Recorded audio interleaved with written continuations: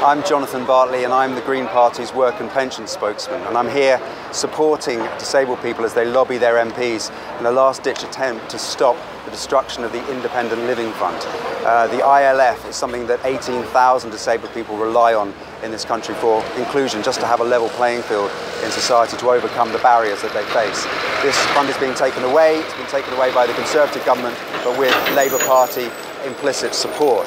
Uh, now local authorities will have to pick up the bill. There will be huge cuts and it's going to plunge many disabled people uh, deeper into poverty. It's going to create more social exclusion. And just talking to the people here, it's absolutely clear uh, the fear and the terrible impact that this is going to have on them.